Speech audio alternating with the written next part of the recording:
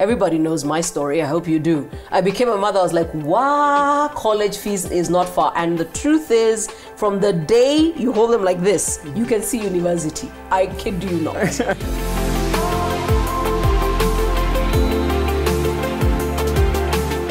Hi, it's Caroline Mutoko. Welcome to my channel. And I am joined by three gentlemen. And I'll get straight to it. I've never wasted your time. The conversation is men and money. I'm going to ask each of the gentlemen to introduce themselves. I'll start in seniority. My name is Peter Mbapa. I describe myself as a solution provider. Ah, I like I like providing solutions where I see need, and I'm very passionate about investments. And uh, glad to be here to discuss men, and, money. Yeah. Waidaka Gatumia, thank you so much for having us here. Um, I'm the current CEO Yes. of Centonomy Limited, where we talk about money. And so I said I have to be here to tell men, let's discuss money. Okay. And I'm Joe Brian Jura, an engineer but now a fashion designer. Thank you for having us. and you're wearing your brand. Yeah, and I'm wearing my brand. It's so good. here's the thing I need to know from both Peter and Joe and yourself. In Mm-hmm. fact, let me start with you. Yeah. When I did Centonomy 101, Yeah. the classroom was like 80% female, 20% men. Yeah. And even the open days look like that. Mm-hmm. Men don't seem to want to be in a classroom setting to learn about money. Mm. Why? I think there are two reasons. One is positive, one is negative. Mm. Let me talk about the positive first, Yes, because I have to I have to encourage men. Yes. I think there's a group of men who think that I don't need to learn about money, I need to be making it. So they're out there working their butts off to, To get make. some money. Okay. Yes. So that's a negative one. The negative one is what can you teach me? You know, some of us, uh, honestly, some of us, sometimes we have to deal with our ego. Okay. And some of us are, what are you telling me about money? See, I know. See, I went to school. I did, uh, what was it called? Business education. Sorry, I'm showing how old I am right yeah, now. That's all right. I'm B- yes, and so is BEd, Peter. That's all BEd, right. He yes. doesn't know what that is. and so see we did it we learned maths it's you go and earn and, and the principles of wealth creation we have never been taught we understand the mathematics but wealth creation is not just mathematics. It isn't. it's a practice that you get into. And you have to be taught. You have to be you have to learn. You have to be coached. Just like a soccer player if you you can study every book about soccer mm-hmm. but you will never be a great soccer player until you get on the pitch with a great coach who's going to help you to understand how And to pass the the ball. ball from there to there. I got you. yes. You did Centonomy, I believe, when you were 24, Yes, when I was 24. Two years ago. Why do you think young guys don't think they need to learn about money? I mean, when you tell your guys, you're like, um, I'm in school on Saturday morning, I can't have a hangy. Ati, unaja kut- To- to- you- you're learning what? Learning about money. Mm. Si do you'll just, you know what to do with it. No. Yeah, that's what they do. That's what they say. I think the ego makes us not go to school, go to class to learn about money because they think we already have the perception of how we are supposed to spend our money. Peter, if Centonomy had male classes and female classes, you think more guys would go to just just, just so that they don't have to mix with the chicks? Probably yes. Yes, I believe that. because, uh, men are sensitive when it comes to money. And I guess another reason why men will not go to classes is because we did not see our fathers go to finance or wealth creation This is classes. This is true. Uh, they seemed to make it. And so we grow and nobody tells us you actually need to go to class to learn how to create wealth. Mm. But I have to come back to you. But Yeah. men, on the other hand, are happy to quote every book. yeah I mean, Robert Kiyosaki and this and that. So what's that about then? I think men are also really great at talking.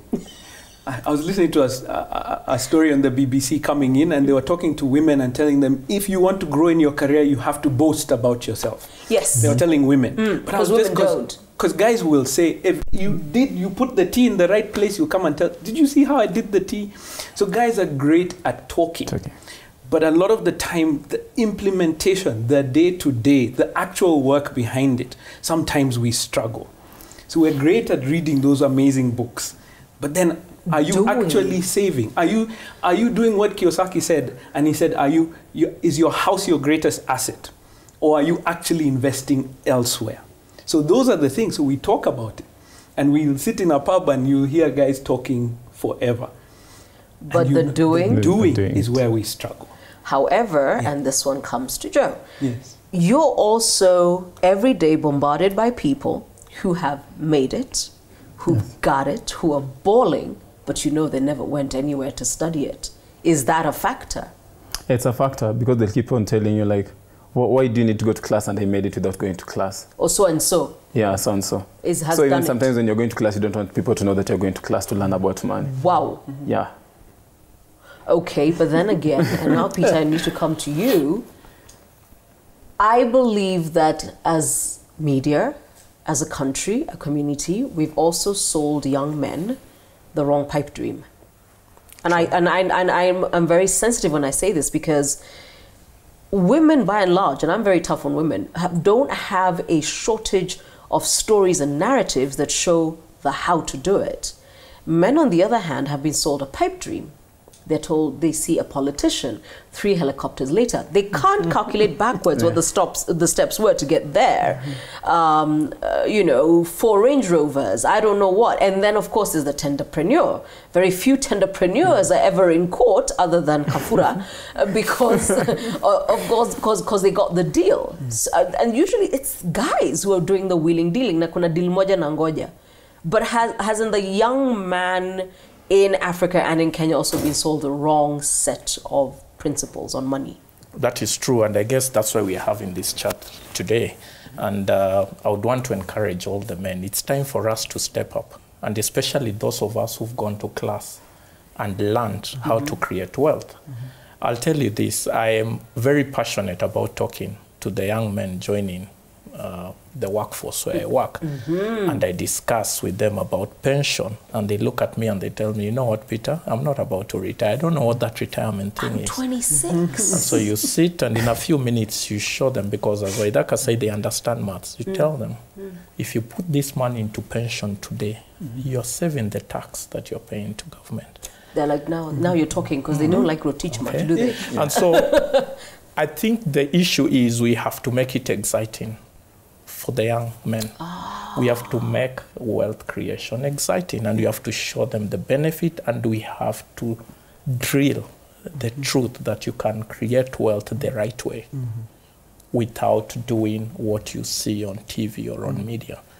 And yes, because media there is needs no to other. help. Oh, exactly. n- n- uh, don't get me started. and, and I think we need to see the media also feature people who've made it the right way Yes. Yes, and true. tell that story. Yeah, you can't celebrate anarchy and then ask what's going on. Exactly. Yes. And so there's an opportunity, Caroline. There's an opportunity for those of us who have the knowledge to share with the young and for media to partner with us by telling the right stories. Okay. Now that we've got you leaning in because you're sitting there thinking men and money, I'm going to be asking these three gentlemen why they signed up for Centonomy 101.